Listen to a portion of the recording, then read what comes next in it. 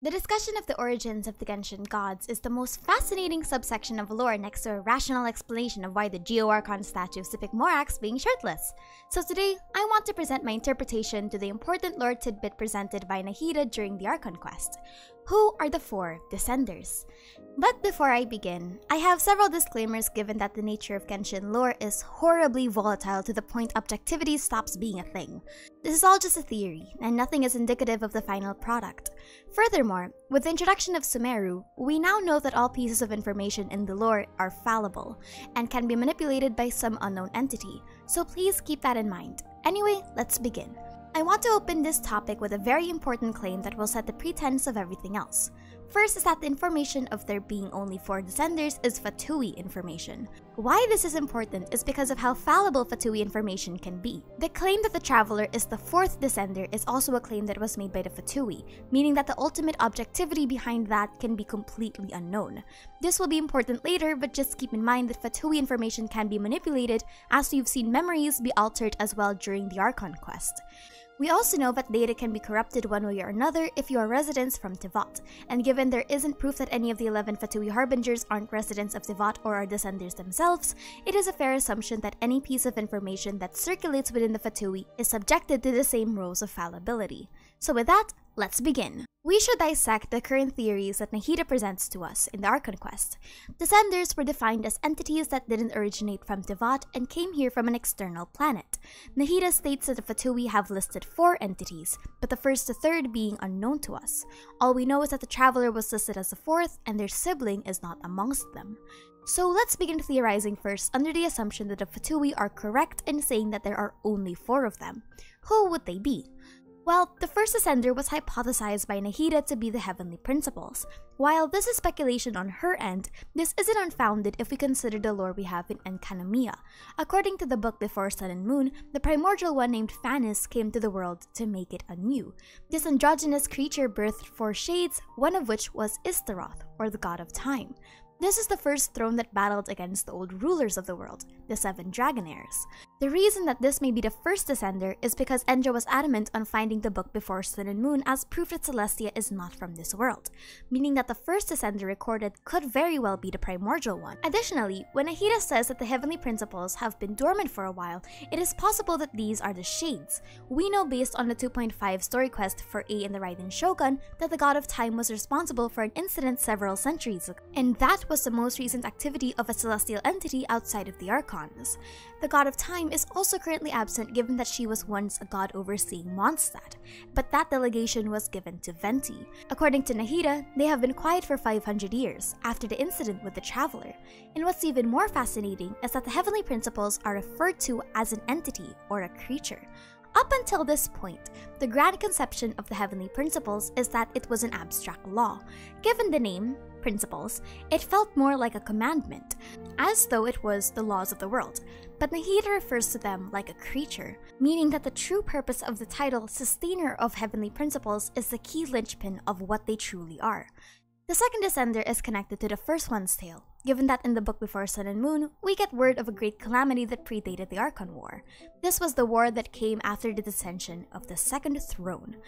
We know next to nothing about the Second Throne, except that it could be a creature at a similar catastrophic power to Phanes. This is because this war caused a calamity that destroyed several ancient civilizations, one of which was the Seelie Kingdom.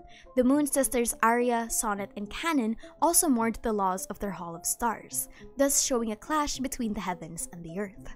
It is important for me, by the way, to mention that it is unknown who the current Celestia is, whether it is the first or the second. The second throne is not confirmed to be Celestia. In the current lore, it was even stated that the second throne was defeated according to the authors of the book Before Sun and Moon. And this is the largest piece of current confirmed in-game knowledge that we have about the thrones. While the book isn't gospel, it is not confirmed on any other sources that the second throne is the current ruler of Celestia. Additionally, it is more plausible that because Istaroth has an Ars Goetia name similar to the demon gods in Paimon, and Istaroth is the shade of the primordial one, naming conventions would argue that the current Celestia Venti, Zhongli, Ei, and Nahida answer to is connected to the first throne that descended, not the second one. But again, there is no cutthroat confirmation on either of them. If the sustainer of heavenly principles turns out to be a shade of the primordial one and has an Ars Goetia name, then we can safely theorize that the current Celestia is held by the primordial one and its four shades, and it just so happens that they are very inactive for some reason. Now we go on to the fascinating and unstable part of this theory. Who is the third descender, if such even exists? Our current knowledge of Genshin lore is too limited to make any confirming guesses, and there's not a lot of characters that are guaranteed to have interplanar travels. I do have four potential candidates for this, but it's important to keep an open mind, given that we know next to nothing about the Descenders in the first place. First is a much more plausible one. It's a character that we personally have never seen before, given that hardly any of the other characters would satisfy the current theme happening with the other three Descenders. Take note of the usage of the word throne and principles, and what the three theorized Descenders have in common. They have connections to angels. According to Wikipedia, the thrones, also known as Ophanim, are creatures that function as actual chariots of God driven by cherubs. They are characterized by peace and submission. God rests upon them. Thrones are depicted as great wheels containing many eyes, and reside in the area of the cosmos where material form begins to take shape.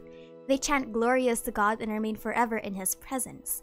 They mete out divine justice and maintain the cosmic harmony of all universal laws. Furthermore, the travelers have resemblances to a seraph.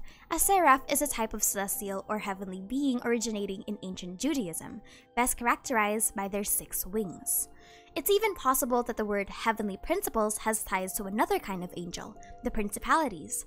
They are the first category of angels in celestial hierarchy to come to Earth and interact with human beings. The principalities rule nations, groups of people, and institutions, but they also rule some groups of angels in heaven or on Earth. They appear as messengers between the higher spheres and the lower angels. However, to say that the heavenly principles are principalities can be a stretch, given that we do know that they're referred to as thrones. So it's possible that the third descender could be another angelic creature altogether that we've never met before. However, it is important to note that this is just a speculation. And we have a rapid fire for the second, third, and fourth candidate for who the third descender could be. My personal candidates are, first of all, Alice, given she has extensive knowledge of world hopping and the borders of Teyvat. It is also partially confirmed through the scattered information we know about her that she has the ability to traverse worlds as evidenced by her 1.6 dialogue, in which she always tells Klee about other distant worlds. The third candidate is Dainsleif, given his curious title as the Bough Keeper and his constellation, the Snake Ring, having ties to the Ouroboros.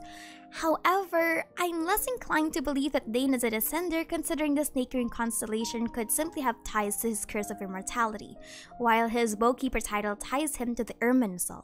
This would also explain why he has extensive knowledge about the characters, given that he has access to the Irminsul. The fourth potential one is Paimon, but that's more of a stretch all things considered. There's no conclusive evidence at the moment, and from what little we have seen about Paimon, she is more in tune with celestial inspirations than another motif entirely. Her design and space manipulation is in tune with Phanes and the Sustainer's motifs, so who's to really say? But honestly, at this point, anyone could be a descender. God, what if the KK in the Traveler's profile is just Kaedehara Kazuha? Kazuha is a third descender? Easy. Now, I do have some several notes that I want to point out about the Descender conversation. One is about the sibling. If the sibling's history as a far traveler was erased from existence, then it would make sense why the Fatui, an organization that would have only been formed after the travelers were trapped in Teyvat, would not have knowledge of the traveler's sibling. My biggest guess is that they did have knowledge of the sibling being a descender, but similar to the Rukkhadevata situation, such information was overridden by an external force, thus reducing the current data to only depict 4 instead of 5. Kind of like a cognitohazard that manipulates existing data. Or, more possibly, the siblings' history was just erased before anything could happen, or before the Fatui were even founded or researched into the matter. Second is, what if Phanes wasn't the first? This would actually help fill in the gaps a lot more. Consider this. This planet has already existed before Phanes, meaning that it's possible that Phanes wasn't the original creator. Would the Fatui, by extension, count the first creature that arrived to Teyvat as a descender by their own criteria? The god that created not humanity, but the Dragonheirs and the old civilizations of the Bishops. Would they also count?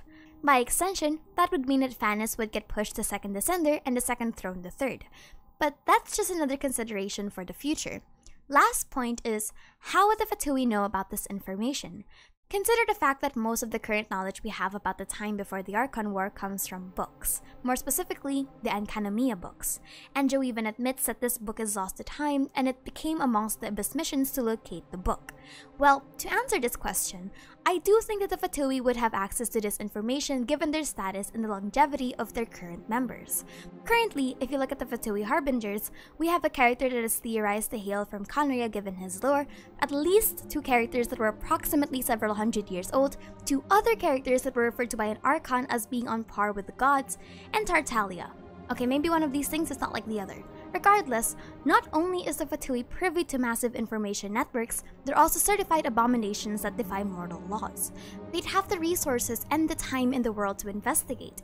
So if there's anyone in the current state of Teyvat that would have knowledge to this kind of information, it would be the Fatui. Oh, and about Aloy. We can always just say she's the fifth. Aloy's just happy to be here, you know? But that's it for me today. Who do you think the three other descenders are? If there are only three descenders. Anyway, my name is Aster and thank you for chilling with me. Also, before I end, I just want to do a quick plug of GamerSupps Waifu Cups. Get 10% off your next order of GamerSupps by using the code ASTER and embrace the degeneracy. Alright, bye bye.